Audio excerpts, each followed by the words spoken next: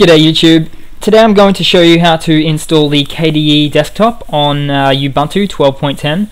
Now KDE is actually a really uh, heavyweight uh, desktop distribution, uh, really just a desktop environment should I say. Now um, the good thing about this one is it's really flashy and some people really tend to like it. I wouldn't recommend uh, running it unless you've got something like a, a decent i7 or upwards uh, with your processor and a decent amount of RAM as well. So it's really easy to do. All you have to do is open up a terminal. So type in Control Alt T and type in sudo apt get install and Kubuntu dash desktop.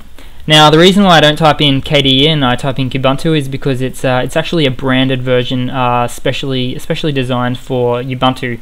So uh, and it'll come up with all these uh, you know Ubuntu images and um, little clicky buttons and things like that. So it's just yeah, just designed for Ubuntu. Now after you've typed that in, hit enter, throw in your password, and as you can see there, it's a really really big install. So uh, just hit yes, then enter, and then go for it.